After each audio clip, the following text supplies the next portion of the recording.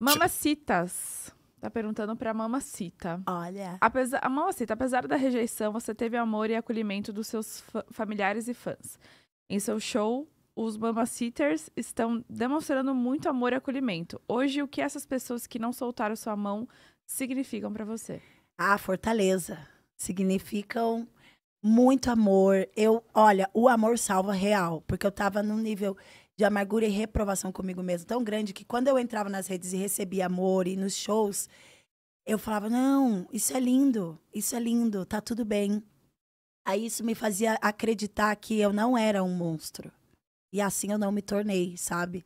Por isso que eu falo, gente, o amor salva. Ao invés de apontar, vamos, vem pra cá. Essa experiência só me trouxe aprendizado. Hoje eu consigo discutir numa boa, sem precisar, por que não sei o quê, sabe? Não preciso é, devolver a agressividade com agressividade. Eu posso simplesmente falar, ei, relaxa. Não, não quer relaxar, eu vou embora. Entendeu? Ah, eu vou virar a ca- a cara e vou pra lá. Mas antes de ir embora e cancelar o momento, eu prefiro trazer a pessoa pro, pra luz. Eu vou até a página 3. Se na terceira ela não vem, eu tenho que respeitar o livre-arbítrio dela de continuar na escuridão. Então eu vou pra lá. Eu não vou atacar ela porque ela me atacou. Porque às vezes o ataque dessa pessoa pra mim não é nem comigo, é com ela mesma. Eu aprendi isso porque eu fui assim. Eu fui essa pessoa que atacou sem querer atacar. Eu estava já me atacando. Aí o que você faz no outro é o que você, você se trata. Por isso eu percebi que eu tava sem auto-amor. Foi pra falar desse jeito com os colegas de confinamento, tava podre por dentro. Então eu fui atrás de arrumar isso. E hoje eu consigo identificar quando a pessoa tá com esse cheirinho de cólera. Eu já chego já, ó. Cólera. Limpa, limpa, limpa. Vamos limpar da pessoa. Ai, porque não sei o que eu falei, eu já tive aí. Ah, é verdade, né? Eu falei, eu tive aí, vem pra cá, não é legal.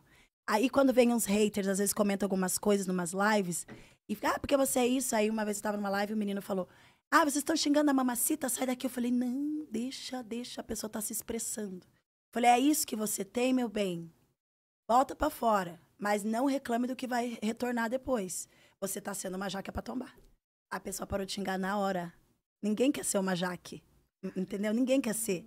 Mas a pessoa me ataca porque eu fui jaque e já tá sendo jaque. Para, tá amigo. fazendo igual. para. É. Ai, vem pra paz. eu tô tão na paz. É isso.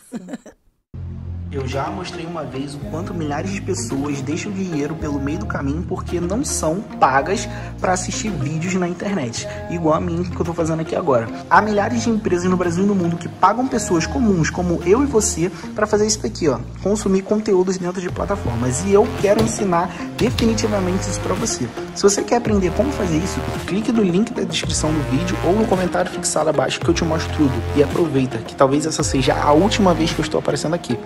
Música